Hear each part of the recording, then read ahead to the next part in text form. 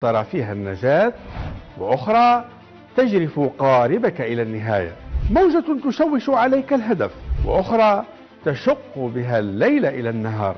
موجة تدفعك إلى الأمام وأخرى تسقط البوصلة من بين يديك. موجة تحيي أمة وأخرى تفني شعوبا نراقب كل الموجات. نستمع إلى تردد هنا. ونرصد صداه هناك نعي أن الموجة تصنع مسارات التاريخ وأن الجميع يحتاج إلى موجة أخرى.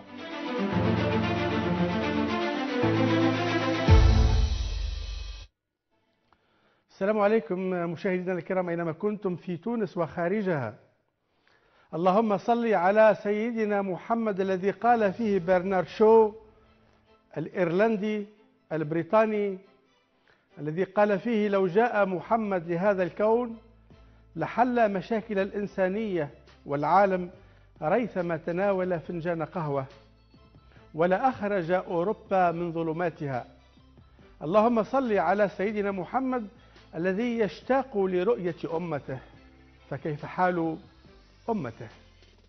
اللهم صل على سيدنا محمد الذي بكى عندما قرأ عليه عبد الله بن مسعود فكيف إذا جئنا من كل أمة بشهيد وجئنا بك على هؤلاء شهيدا اللهم صل على سيدنا محمد. محمد من مكة المدينة في تلك الأرض خلف من بعده خلف فيهم محمد ابن سلمان. محمد آخر. وقع صفقتين اثنتين فمن بلاد الحرمين صارت بلاد الصفقتين.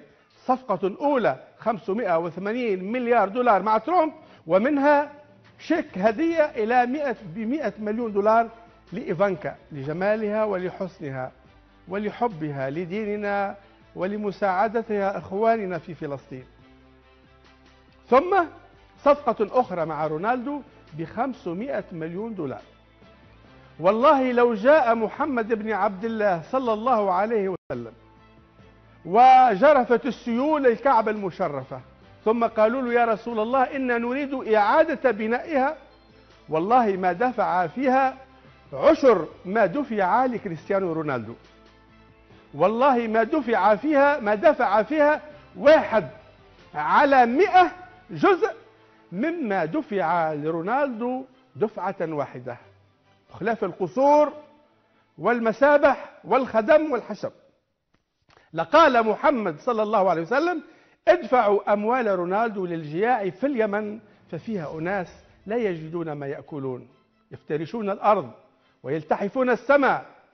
لو قيل لمحمد بن عبد الله صلى الله عليه وسلم إن جياع اليمن يا رسول الله أكلوا وشبعوا. لقال انظروا إلى سوريا.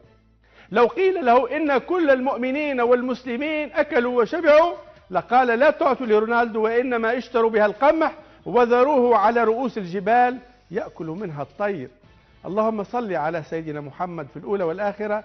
مرحبا أهلا بكم إلى هذه الموجة وموجات أخرى.